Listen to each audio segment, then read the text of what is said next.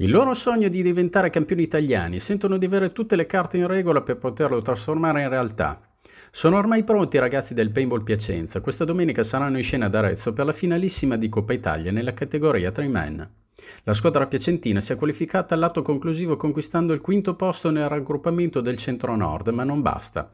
Adesso vuole la tanto desiderata coppa che significherebbe titolo nazionale. Per prepararsi al meglio, i ragazzi guidati da capitan Claudio Campioni si sono allenati nella sede di Pieve d'Ugliara contro i Mad Monkey di Cuneo, in una serie di test 3 contro 3 che hanno visto impegnati tutti gli effettivi.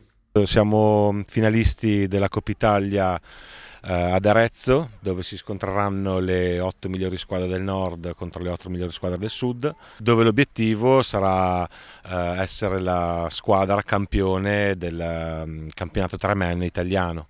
Ad Arezzo ci sarà la squadra gran completo, Capitan Campioni, le due atlete della nazionale Chiara Pizzasegolo e Federica Salvatori, Elia Rancan, Ronny Combal, Alessio Digliè, Mattia Girolamo e Maria Carmelina Flumeri.